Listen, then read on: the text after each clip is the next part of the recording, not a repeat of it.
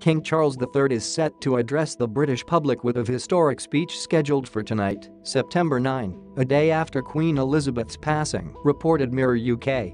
Charles, previously the Prince of Wales and the longest-serving heir apparent in British history, will deliver the address tonight in a televised special. The new king is also expected to receive condolence at Westminster Hall today before he starts a whistle-stop tour of the UK, starting from Edinburgh where he will visit the Scottish Parliament and attend a service at St Giles Cathedral. Thanks for subscribing and liking. King Charles reacted swiftly to the news of his beloved Mother's death last night, with the monarch reportedly present at the Queen's bedside before she passed away. Charles is now stepping into the role that he has been prepared for since the age of three. He is now 73. His wife Camilla will now be referred to as the Queen Consort, a title greenlit by Queen Elizabeth herself just earlier this year. Write in the comments what you think about this.